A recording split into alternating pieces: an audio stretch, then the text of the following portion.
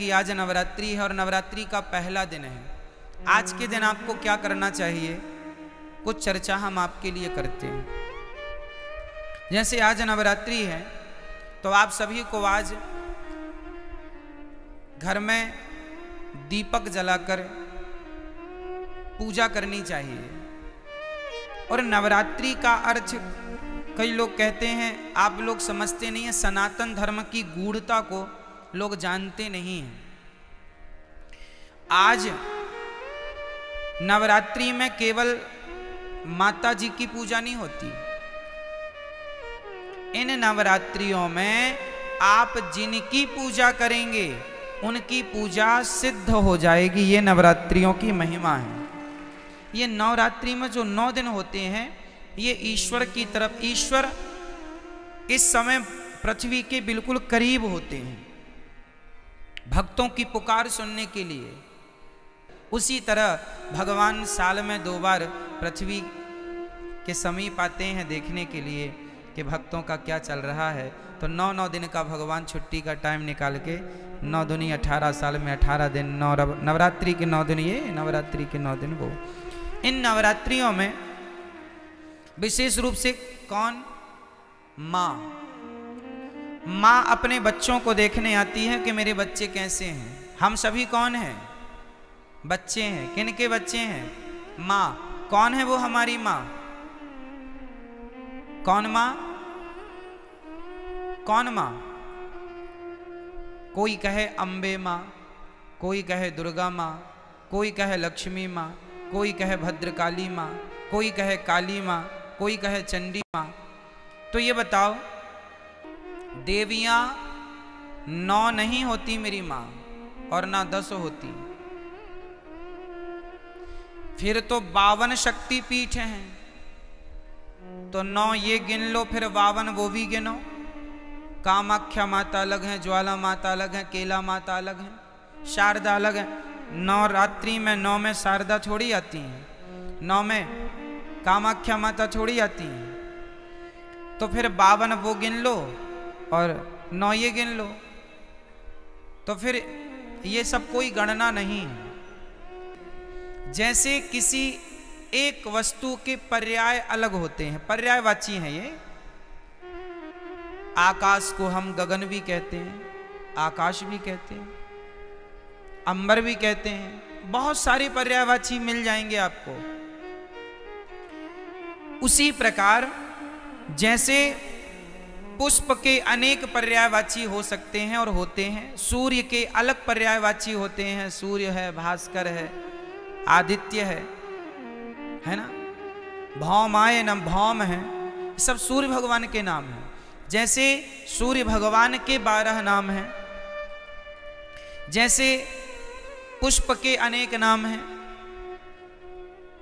उसी प्रकार से देवी एक है। माता भगवती लक्ष्मी, उन लक्ष्मी को कोई दुर्गा कहता है, कोई भद्रकाली कहता प्रथमम शैलपुत्री चा। आज शैलपुत्री की पूजा होती, शैलपुत्री मतलब माता पार्वती। शैल मतलब पत्थर की बेटी अर्थात हिमालय की बेटी। प्रथमम शैलपुत्री चा द्वितीयम ब्रह्मचारिणी, कल। ब्रह्मचारिणी मैया की पूजा होगी।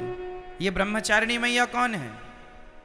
कल दूसरे नंबर पर जो ब्रह्मचारिणी मैया हैं, वो मैया हैं, वैष्णवी मैया, जो ब्रह्मचारी रूप में आज भी ब्रह्मचारी है ना माता जी विवाह नहीं हुआ उनका। प्रथमम वैष्णव माता जी ब्रह्मचारी रूप में है। तो पहली पूजा पार्वती माँ से स्टार्ट होती है और दूसरी पूजा तो देखो, चाहे आप शैलपुत्री कहो या ब्रह्मचारिणी कहो, तत्व एक ही है वो एक ही तत्व है, लक्ष्मी तत्व। भाई ये बताओ, आपकी बेटी को क्या कहते हैं आप? अच्छा आप अपनी बेटी को लक्ष्मी कहते हैं तो आप लोग अपनी बेटी को क्या कहते हैं? आप भी अपनी बेटी को लक्ष्मी? मतलब इस धरती में चाहे बेटी हो, अरे हमारे भारत में बहुओं को भी लक्ष्मी कहा जाता है। जब घर में बहू आती है तो हमारे यहाँ कहते लक्ष्मी के पाँव पड़ते ही घर में सब मंगल हुआ है। क्यों? हमारे यहाँ बेटी को क्या कहते हैं? और बहू को क्या कहते हैं? और माँ क्या होती है? बोलो, माँ क्या है? माँ भी लक्ष्मी है। सही है?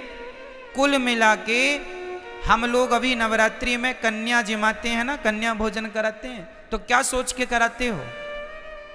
कि हमारे घर माता, लक्ष्मी आई, दुर्गा मान लो, लक्ष्मी कहो, शारदा कहो, भद्रकाली कहो, महाकाली कहो, चंडी कहो, कुछ भी कह लो, पर्यायवाची है। तत्व एक ही है, लक्ष्मी तत्व। श्रीश्चते लक्ष्मीश्च पत्न्या बहोरात्रि। पार्श्वे नक्षत्राणी। कहने का तात्पर्य यह है, वेदों में एक ही तत्व की उपासना है। श्री तत्व मतलब लक्ष्मी तत्व। वही लक्ष्मी तत्व दुर्गा के नाम से जानी जाती हैं। मैहर में उन्हें ही शारदा कहते हैं। एक ही परम तत्व है, और वह है लक्ष्मी तत्व। वही लक्ष्मी आज प्रथमम शैलपुत्री चा, आज वही लक्ष्मी क्या बन के पूजेंगी? आज वही लक्ष्मी माता पार्वती बनकर के पूजेंगी, जगत जननी कहलाएँगी। आज उनके हम पार्वती स्वरूप का पूजन करेंगे। तो आप लोगों को घर में दीपक जलाकर आज माँ भगवती का ध्यान, लक्ष्मी जी का ध्यान करना चाहिए। हे माँ, हमारे घर में ये आपका ही घर है। आप हमारे मन मंदिर में आकर बैठ जाइए। हमारी बुद्धि को निर्मल कीजिए। हम सदा आपकी सेवा करते रहें। हम सदा आपकी आराधना करते रहें। और हमारे घर में ये खुशियों का दिया सदा जलता रहे। ये ज्ञान का, ये भक्ति का दीपक सदा प्रज्वलित होता रहे। आज के दिन आपको राम रक्षा स्तोत्र, नारायण कवच का पाठ करना चाहिए। जो भी पाठ करेंगे, कुछ ना आवे तो श्रीमन नारायण श्रीमन, आप आज श्रीमन नारायण का जाप करें तो वह नारायण का जाप भी सिद्ध होगा। आप यदि ओम नमः शिवाय का भी जाप करें तो आज जो भी जपेंगे वो सिद्ध होगा।